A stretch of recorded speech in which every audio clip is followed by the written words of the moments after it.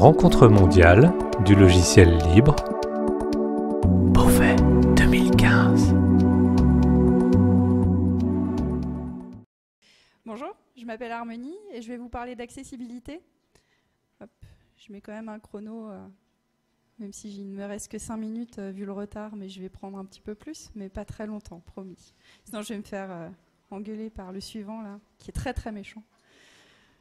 Donc, je vais vous parler d'accessibilité et de logiciels libres et euh, de Liberté Zéro, qui est le nom d'une association.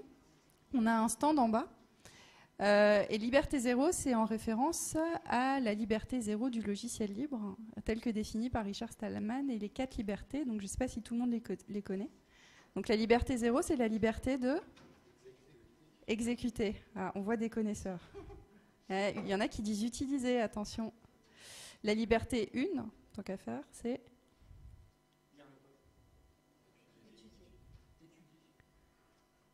Liberté 2 et Liberté 3.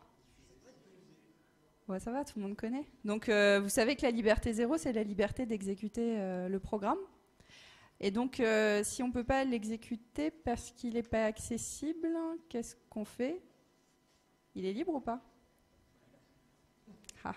Donc ça, c'est le début d'un long débat et d'une longue discussion euh, qui a eu lieu euh, sur est-ce qu'on peut être un logiciel libre si on n'est pas accessible? Et du coup, est-ce qu'on est libre pour tout le monde? Et quand je parle d'accessibilité, je parle d'accessibilité aux personnes euh, en situation de handicap. Donc qui ont un handicap qui les empêche, c'est pas, ils, ne peuvent pas, comme c'était une autre langue, apprendre ou se faire un effort. Elles ne peuvent pas accéder au logiciel s'il n'est pas accessible. Donc euh, la question de l'accessibilité et de la liberté euh, a fait l'objet euh, de plusieurs échanges qui ne sont pas terminés, notamment avec Richard Stallman et le mouvement GNU. Et donc le, problème qui est soulevé, en fait, c'est le côté obligatoire quand on parle de discrimination euh, une discrimination fondée sur le handicap, c'est euh, y compris le refus d'aménagement raisonnable. Donc ça, c'est les définitions telles qu'elles sont données euh, dans la Convention relative aux droits des personnes handicapées par les Nations Unies.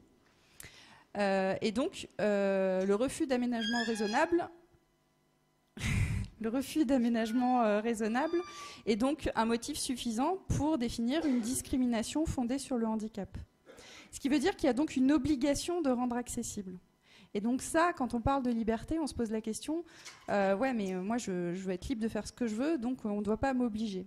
Le problème étant que si vous êtes libre de faire ce que vous voulez, euh, vous créez des nouveaux programmes, donc c'est super, des nouveaux usages qui vont avec ces programmes, éventuellement des nouveaux métiers qui obligent à utiliser ces programmes, et toutes les personnes qui ne peuvent pas les utiliser, eh bien, elles sont, sont exclues de cette société. Donc l'enjeu, il n'est pas technique, euh, il n'est pas vraiment euh, juridique. Avant tout, il est humain et c'est une question de, choix de société.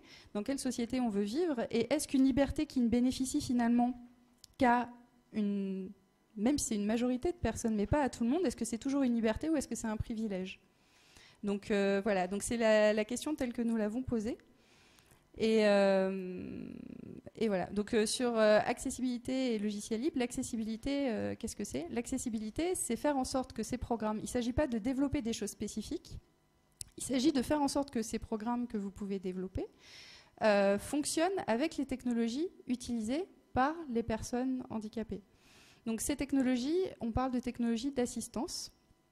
Et c'est aussi prendre en compte les différents moyens d'accéder à ces programmes.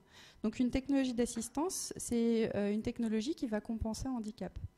Par exemple, l'exemple le plus fréquent, c'est euh, l'exemple euh, qu'on prend, parce que c'est le plus impressionnant, c'est l'exemple du lecteur d'écran. Donc une personne aveugle peut utiliser un, ordinateur et peut utiliser un environnement GNU Linux. D'ailleurs, on a des exemples au stand, donc on peut faire libre et accessible, à condition que, euh, que, ça fonctionne avec les technologies utilisées euh, par ces personnes euh, aveugles, mais pas uniquement. Ça peut être des personnes dyslexiques qui utilisent aussi le lecteur d'écran ou des personnes malvoyantes, qui vont en fait analyser le code et dire ce que c'est. Donc non seulement ce qui est écrit à l'écran, donc par exemple euh, LibreOffice euh, Writer, mais aussi fenêtre ouverte, euh, menu, donc décrire la nature des éléments. Et toutes ces informations peuvent être récupérées parce qu'elles ont été conçues dans le code. si vous ne l'avez pas mis dans le code, c'est impossible de récupérer ces informations. Ensuite, ces informations, elles vont être scouplées, enfin, ce lecteur d'écran va analyser le code et va la donner en sortie via une plage braille, par exemple, avec des petits picots qui se lèvent et qui se baissent. Pareil, si vous allez sur le stand, vous pouvez voir des exemples. Ou via une synthèse vocale qui va lire à voix haute euh, les informations qui sont contenues dans, dans le programme ou dans l'ordinateur. Donc, en quoi c'est un enjeu euh, pour le logiciel libre? Euh, En fait, il y a deux enjeux. Aujourd'hui, le, monde du handicap et des fournisseurs en fait de contenu est extrêmement privateur, extrêmement fermé. Ce qui fait qu'une personne, quand elle a un handicap, l'informatique c'est un outil formidable pour récupérer de l'autonomie. Mais c'est aussi une nouvelle dépendance qui est encore plus importante et encore plus vitale que quand on est dépendant à un outil, euh, mais qu'on peut s'en passer, qu'on est dépendant pour, du confort, mais qu'on peut s'en passer, c'est une chose. Quand ça devient en fait nos yeux, quand ça devient une, partie de nous, s'en passer, ça devient extrêmement compliqué dans un monde moderne. Euh, du coup, euh, cette nouvelle autonomie, il la conquiert, mais sur des outils qui eux-mêmes sont privateurs et qui les enferment dans un modèle et qui les enferment comme tout le monde peut être enfermé, mais ils n'ont pas forcément le choix d'aller vers du logiciel libre euh, si ces logiciels libres ne sont pas accessibles. Alors le choix, en réalité, on l'a, vous allez me dire, grâce à la liberté 1, étudier le code, et la liberté 2, le modifier. Sauf que même si, enfin, c'est une des questions du débat. Un logiciel libre se suffit à lui seul, euh, puisqu'on peut le modifier pour le rendre accessible. Effectivement, euh, c'est sans doute euh, le, point, le point central qui fait le côté adaptation. On peut adapter le logiciel, c'est le, lien avec l'accessibilité. Sauf que on ne peut pas tout attendre des utilisateurs. Et on s'est retrouvé bloqué à un moment où effectivement on peut modifier le logiciel pour l'adapter.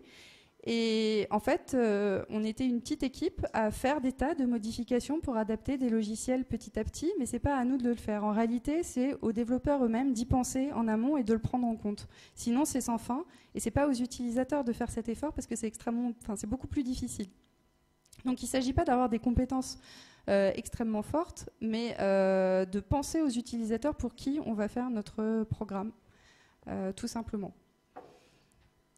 Donc, une fois qu'on a vu cette dépendance, donc un, des, axes de travail euh, de Liberté Zéro, c'est de travailler avec ces producteurs de contenu et de logiciels euh, qui souvent ne sont pas libres pour les aider à libérer leur code et à libérer euh, les, contenus, à les passer sous licence libre. Ça marche un petit peu, ça dépend avec qui, ça dépend pourquoi. Il y a encore des gros morceaux qui ne marchent pas. Et à côté de ça, on a un autre travail au sein des communautés du libre euh, pour leur dire pensez à prendre en compte l'accessibilité.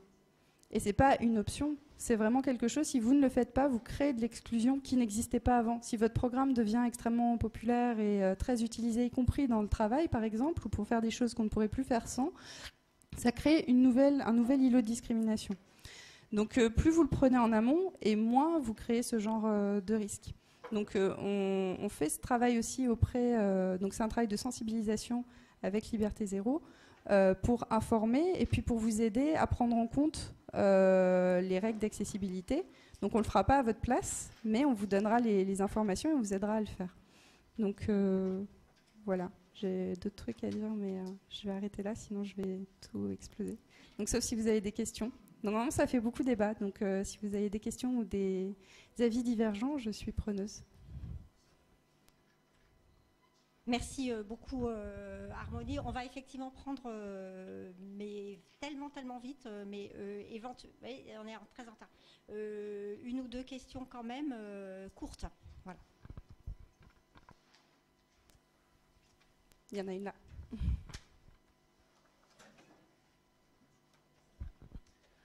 Est-ce que Liberté Zéro ou quelqu'un d'autre fournit des ressources dédiées aux développeurs pour pour apprendre à, améliorer euh, ces, bonnes pratiques concernant l'accessibilité Alors, au niveau des ressources, euh, y a, On a un wiki sur Liberté Zéro où on recense les ressources. Donc euh, on peut en produire à l'occasion, mais on essaie de recenser ce qui existe. Et il y a tout un travail euh, au niveau de l'État. je travaille avec la DISIC, notamment qui est le service informatique de l'État, quoi.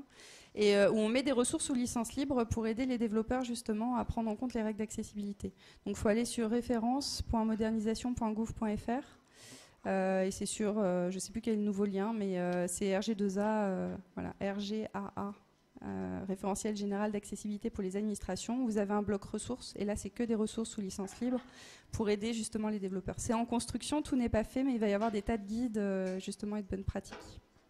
Donc c'est plus pour le web, mais pas uniquement. Il y aura aussi sur les applications mobiles. Et il y a tout un travail, alors je peux le dire ici, qui va être fait euh, avec LibreOffice justement, parce qu'il y a un vrai problème euh, d'accessibilité de LibreOffice sous Windows, qui n'est pas forcément d'ailleurs euh, sous GNU Linux. Et pour les aider à rendre les choses plus accessibles, puisque ça peut être un frein aussi pour l'administration à passer certains postes sous licence libre si certains agents ne peuvent plus l'utiliser parce que c'est pas accessible. Donc on voit qu'il y a le combat de prendre en compte l'accessibilité au niveau du, logiciel libre, ça aide aussi à le promouvoir, puisque ça peut être un frein qui est totalement légitime de dire, ben on va pas changer notre parc, sinon il y a des gens qui pourront plus l'utiliser.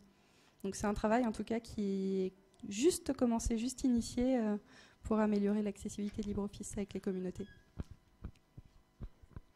Dernière question. J'ai fait à peine la moitié de mon temps. Ah, allô? Voilà. Hum, je suis d'une association qui est relationnée avec les spectres, spectres autistes. Et, je comprends les buts. Ça, les buts, les, ça, me paraît très intéressant. Mais j'arrive à me protéger des problèmes pratiques parce qu'il y a beaucoup de différences de, de niveau d'autisme, par exemple. Et il y a des gens qui sont vraiment pas capables de parler, qui pensent avec des images. Comment peux-tu euh, adapter ton logiciel si tu fais un petit, euh, je sais pas, un driver ou quelque chose pour l'imprint euh, la, question c'est, pour aller positivement, est-ce que vous avez une checklist pour que les développeurs pourraient voir s'ils sont en train de faire ce que c'est nécessaire pour améliorer, quelque chose comme ça?